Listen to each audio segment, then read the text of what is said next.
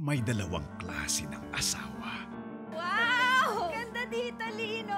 Happy ka? Oo, sobra. Isang matindi ang pagtitiwala Hello? Hello? Sa Lino ha, huwag mo nang gagalawin yung telepono ko. at isang walang kadala-dala. Hindi ka na mahuli noon. Uulit ka pa rin asawa siya. So she wouldn't expect anything serious from me. Lino! Lino! Asawa ko, nilalandi Jake! ko! Kahit anong gawin ko, makulit. Anong pwede mong gawin para iwan kita? Hali, pagkatapos ng ngayon at kailanman.